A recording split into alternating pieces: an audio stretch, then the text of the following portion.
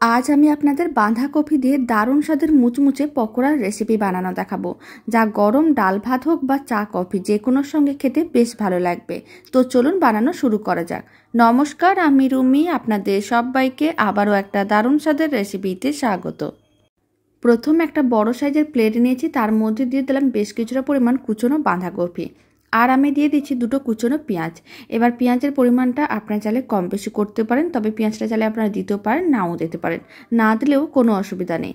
এখন অল্প একটু লঙ্কার গুঁড়ো দিয়ে দিলাম, আর দিয়ে দিচ্ছি হলুদ গুঁড়ো।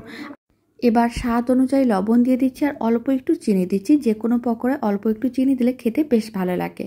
এখন সমস্ত কিছু একসঙ্গে কুচনো বাঁধাকপির সঙ্গে মিশিয়ে নিতে হবে। আর বাঁধাকপিগুলো কিন্তু আমি আগে থেকে ভালো করে ধুয়ে রেখেছিলাম। এখন সমস্ত মশলাগুলো যখন খুব ভালো করে মেশানো হয়ে যাবে, তখন এর মধ্যে দিয়ে দিতে হবে বেশ কিছুটা পরিমাণ বেসন।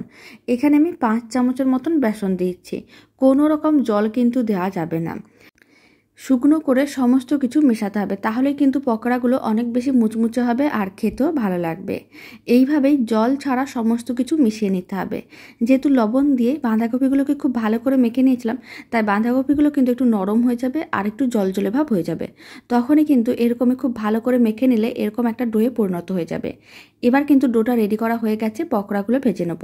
তার জন্য কড়াইতে বেশ কিছুটা পরিমাণ গরম তেল নিয়েছিলাম, অল্প অল্প করে মিশ্রণ গরম তেলের মধ্যে দিয়ে দিতে হবে। আর ফ্লেমটা মিডিয়ামে রেখে পকোড়াগুলোকে উল্টে পাল্টে লাল লাল করে ভাজতে হবে।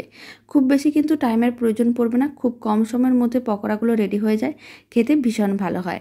ফ্লেমটা মিডিয়ামেই রাখতে হবে, যদি ফ্লেমটা লোতে থাকে তাহলে কিন্তু পকোড়াগুলো ভালো হবে না। আবার যদি হাইতে থাকে তাহলে কিন্তু পকোড়াগুলো অনেক তাড়াতাড়ি লাল হয়ে পুড়ে যেতে পারে। তাই ফ্লেমটা মিডিয়ামে রেখে এইভাবে একটু টাইম নিয়ে উল্টে পাল্টে পকোড়াগুলোকে ভেজে নিতে হবে। প্রায় পাঁচ মিনিট মিডিয়াম ফ্লেমে উল্টে পাল্টে পকোড়াগুলোকে ভেজে নিয়েছিলাম। এর থেকে আর বেশি লাল করে ভাজবো না।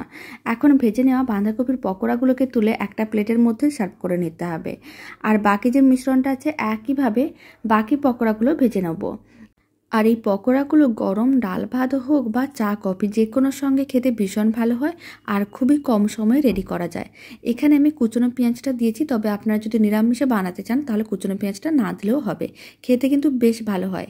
আর আশা করি ছোটো থেকে বড় যে কেউ খুবই পছন্দ করবে।